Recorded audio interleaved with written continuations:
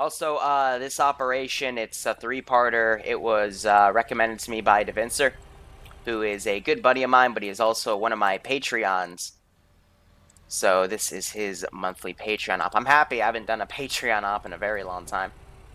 Some of these guys are double stacking the armed uh, gases. Ground command, what's your short range? Do I know I if the not have MiG or a short range at the T-50s are fixed Short yet? I think so. I don't know entirely. ground command. Again, that's eight zero. Copy. Uh, okay. They're gonna run away now, because you just, like, fucking...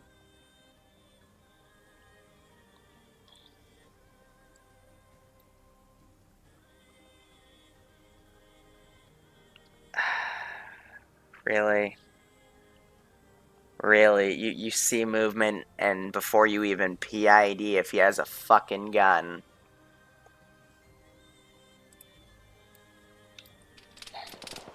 They're, they're still... What?